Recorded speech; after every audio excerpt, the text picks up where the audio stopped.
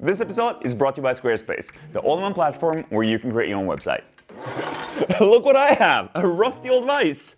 More specifically, a 50-year-old Wilton vise that is in pretty rough condition. So in this video, I'm gonna do my best to restore this thing into its former glory. And man, there's a lot of stuff to do here. Because apart from being really rusty and missing one of the jaws, all four of the screws that are meant to hold the jaws in place are either broken off inside the casting or just stuck. So we're gonna have to do some machining and welding to sort that out. There's also a broken piece in the bottom casting here that we're gonna have to try and weld. There's a piece in the back that is entirely missing, so we'll have to machine a new one. But before we do any of that, let's take this whole thing apart and see what we have to work with. Let's get started.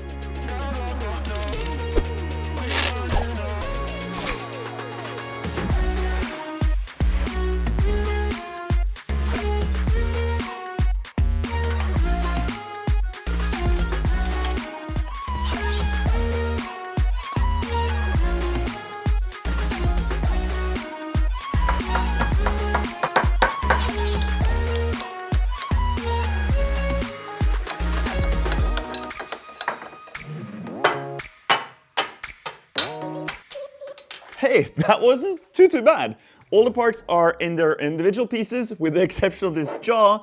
This guy is definitely gonna need an angle grinder before it wants to come apart. But before we go to town on this guy with the angle grinder and start sanding all the castings, I'm gonna give everything a good cleaning because right now they're just covered in old grease and grime.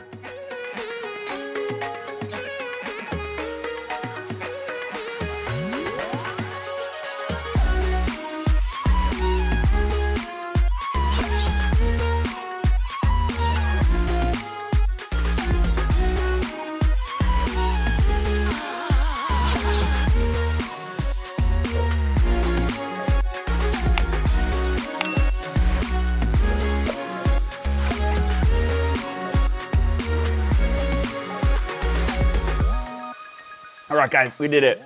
After a ton of work, we finally got all the grease, grime, old paint, rust, and dirt off of these things, and we can finally see what we got to work with now. Now, all things considered, it's not that bad, but there's definitely some work here. I also managed to get that last jaw off of there. Didn't even have to use an angle grinder, I just hit it with a hammer, and that extremely stripped screw just came right out.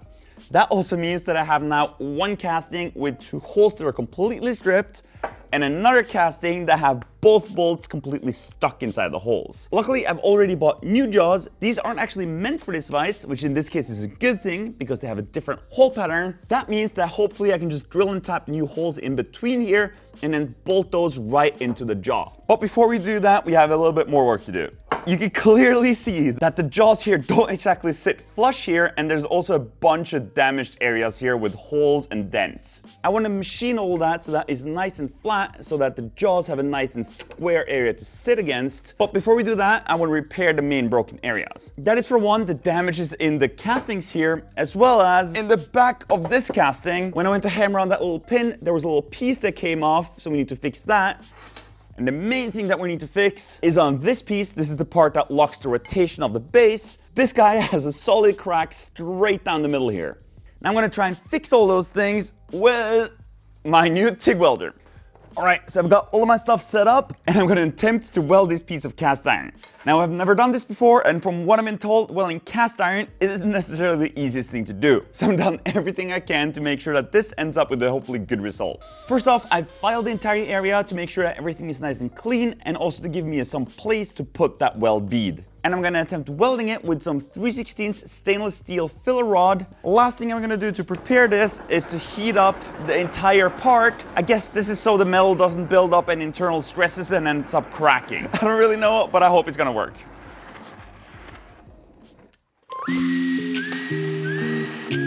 Hey, I think it works.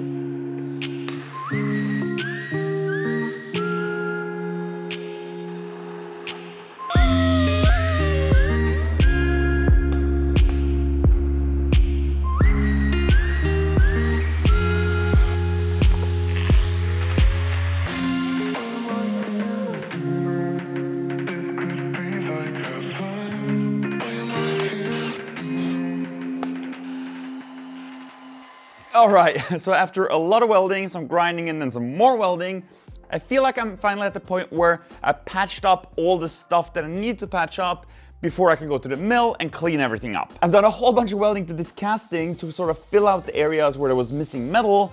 I've also patched up this little broken piece in the back here and I've welded together this guy again. And I have to say, I'm kind of surprised how well this went. I feel like everything flowed together really nicely and I got enough material in there. So I'm pretty confident that this will hold. But time will tell. All right, let's head over to the milling machine. All right, so I've got that jaw in here. I've used an indicator to make sure that the jaw is both horizontal relative to the table, as well as square in the vise. And then we can clean up all these surfaces.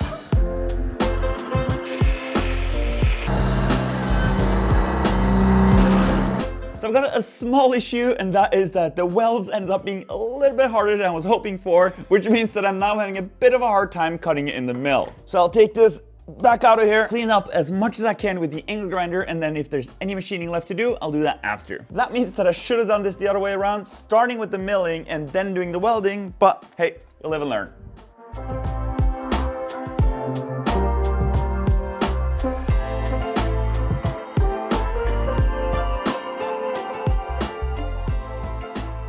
So after a lot of back and forth and trying out a whole bunch of different cutters, I did finally manage to find one that does manage to cut through the welds if I go really slowly. So now I've got the main body of the vise chucked in here, everything is nice and square, I made sure that with the indicator, I've ground off most of the stuff with the angle grinder, which means that we can now go really slowly and square up the rest of these surfaces.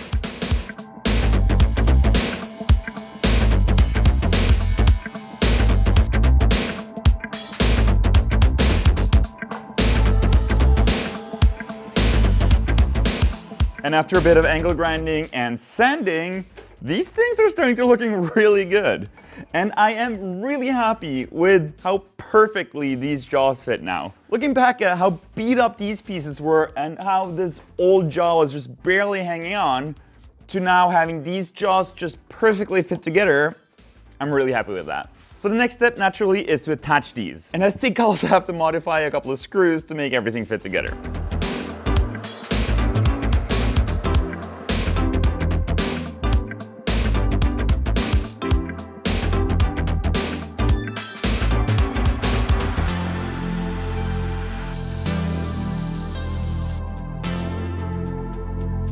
All right, so just setting the last screw here. That's one jaw. You've got the other jaw right here.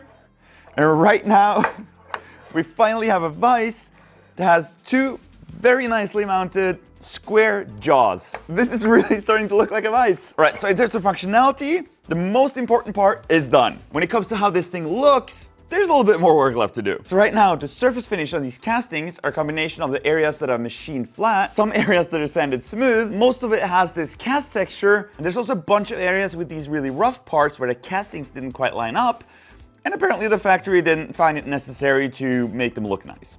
So that's what I'm gonna do now. I'm gonna make sure that everything is nice, smooth and even. We've also got these couple of areas in the back here where I had to do the little repair. And same thing goes with this back piece where I had to weld on a little bit where it was broken off. I'm gonna make sure that these two fit together properly and that I finish everything while they're assembled together so that the curves line up properly.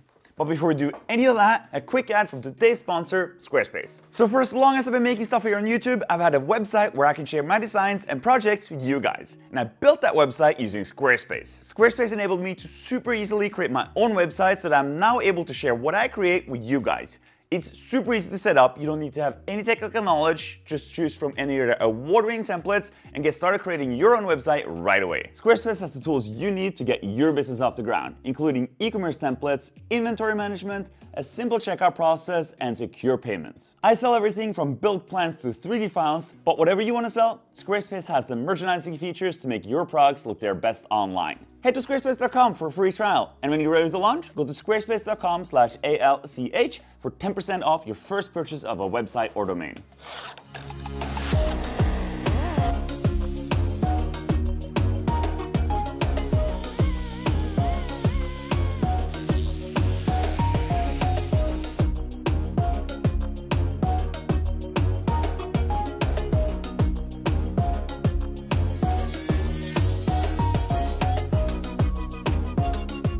yeah, yeah, I know I'm dirty, but hear me out.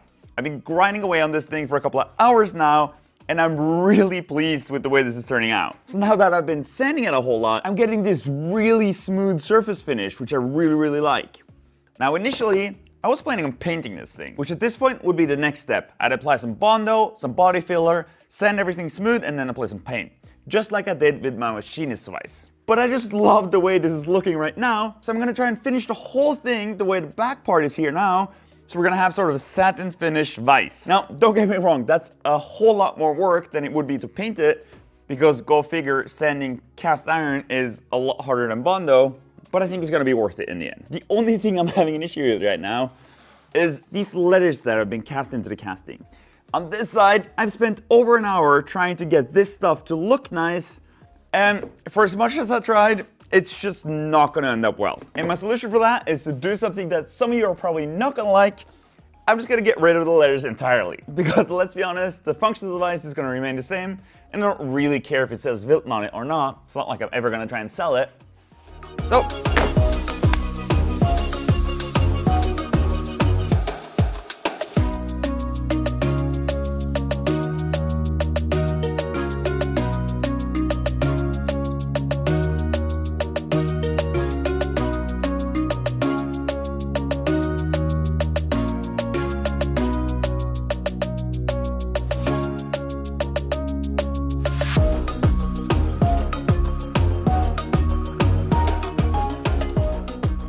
boy.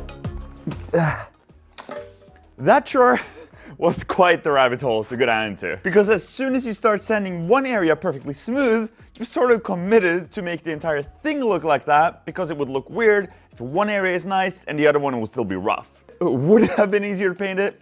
100%. I think I spent the last seven or eight hours sanding this thing. But look at this thing, look at how shiny it is. At least for a little while, I don't think I'll be sanding any cast iron anytime soon. With the exception, of course, of this part that I still need to do. So I'll just quickly do this thing and then we can start assembling all the parts again. Oh, and I also need to do the base.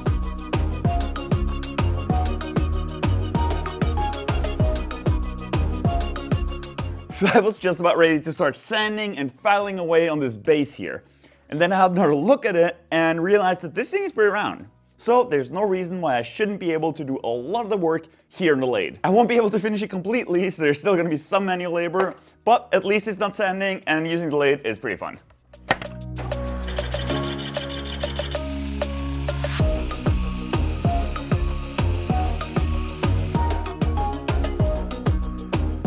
A little bit of hand finishing and we're good.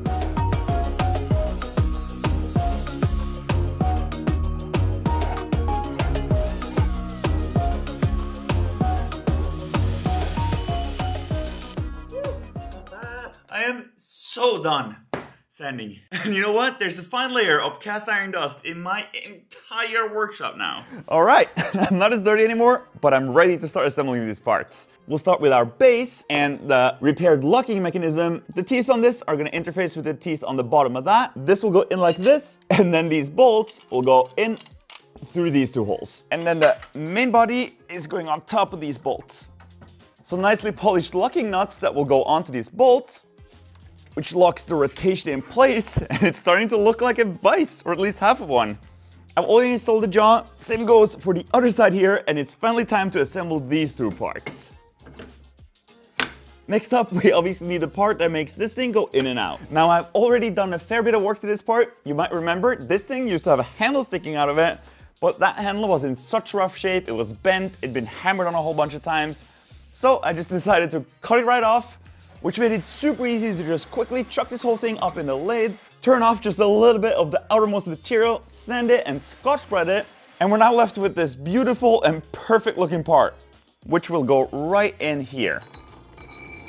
And as you might remember, this screw is held in place with a steel plate that slips onto this groove here and is screwed onto the jaw. Here's the thing though, this plate used to be held in place with these screws, and these dirty old things have definitely seen some better days. And I was trying to look for some screws to replace these with, but I'm assuming that these are Imperial. However, when measuring an M5 bolt, the pitch is exactly the same, and the diameter only varies by 0.2 millimeters. So my thinking was, if the pitch is the same, I should be able to take a tap and run it inside the holes here and it will just cut a super slight amount.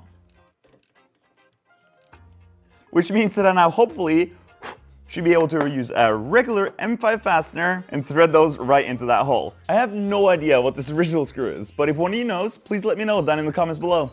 And since we're going for this super smooth and clean looking style, I've of course also polished and scotch brighted this part. I've also countersunk the holes so that we now can have countersunk Allen head screws.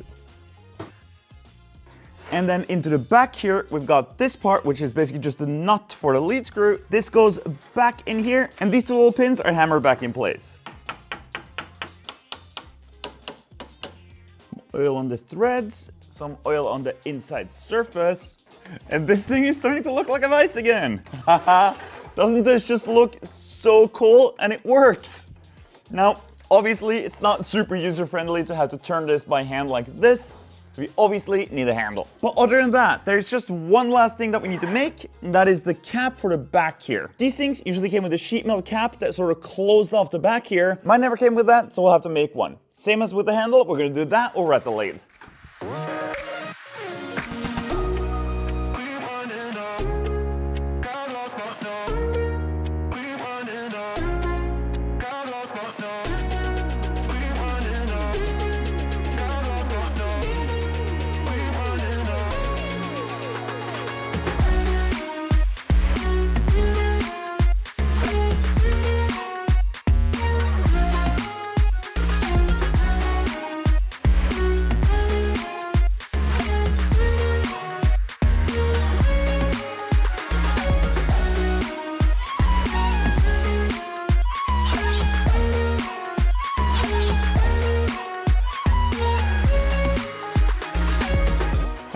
Look at this! We got a really nice and functional handle. I just turned this shaft to the right diameter, threaded some holes in the ends, and then I made these two nubbins with countersunk holes. So now we have these really cool end pieces for the handle. And to finish everything off, I made this thing. Just look at how shiny it is. I figured since I spent so much time machining and turning this thing out of aluminum, might as well polish it.